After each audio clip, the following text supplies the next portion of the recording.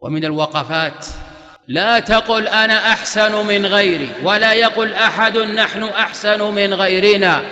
يقول ابن القيم رحمه الله لا يسيء الظن بنفسه إلا من عرفها ومن أحسن الظن بنفسه فهو أجهل الناس بحاله.